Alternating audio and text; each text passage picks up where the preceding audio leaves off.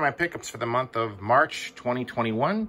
The first game I got is Falconeer for $22 new on Amazon. And this game reminds me of uh, Panzer Dragoon, even though it's not a dragon. It's an eagle, but it's like a shooting game, just like Panzer Dragoon. Kind of reminds me of that. Uh, maybe I'm completely wrong, but I haven't played the game. So yeah, I just got this a week ago. I haven't opened it yet for my for the Series X. Next game, Pawn Shop, which had a lot of import games. And this game is Call of Duty Modern Warfare 4, and it's region free, so it works on the Series X. It's backwards compatibility with the disc. You just put it in, which is nice. So this was three bucks. Decided to get it. Even though the Japanese version, I believe. Yeah, it is a Japanese version. But it has English uh, English voices, so I know what's going on still and uh, just got excited because it's three bucks and I don't have it for the 360 and I can't find my PS3 copy anymore. I only have the digital version when it came with uh, uh, Infinite Warfare. Next, I got Mirror's Edge. I got the digital game on PS3 when they had, I forgot already, a sale. Oh, not a sale, I'm sorry. They were giving them away, EA. But now I can't access it for some reason. It says my license or something is expired, which stinks. So I got this for four bucks. Uh, and yeah, it's, it's, uh, I can't wait to play because I played it a little bit, but then again, I forgot about the game and license now, so I can't, uh, so I decided to get a physical copy, which is good because of course, PS3 games are going to become expensive.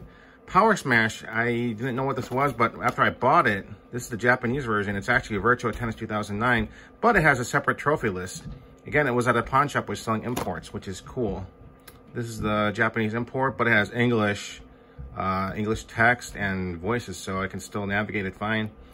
Next is Everybody's Golf 6, which is uh, Hot Shots Golf on the Vita. And also came out digitally in North America, but physical copy in Japan. So I decided to get this for three bucks at the pawn shop as well. Uh, MLB Bobblehead, which I have not played. Uh, this was four bucks. Decided to get it, and it was never released in North America. Uh, it kind of reminds me of MLB Power Pros, if you remember that game. And then Call of Duty Black Ops 3. I don't know why the pawn shop had a Japanese version, but it's in English. Uh, because I loaded up, I'm going to make sure these discs work before I can return them. So I got this. It was uh, $6. So, and this one has a campaign, which is nice. Black Ops 3. I played Black Ops 1 and 2, just never played the third game. And then the fourth game is all multiplayer, which I did a video on, which I got from the library, which I don't like.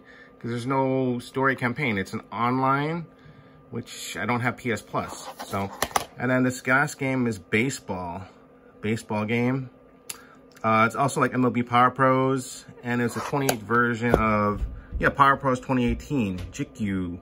And it's nice because you can play in VR. So I got this for $8 at the pawn shop, which is cool. So I got some PS4 games, PS3 games that were not released in North America, or if they did, they were pretty cheap. So anyway, those are my pickups for the month of March 2021.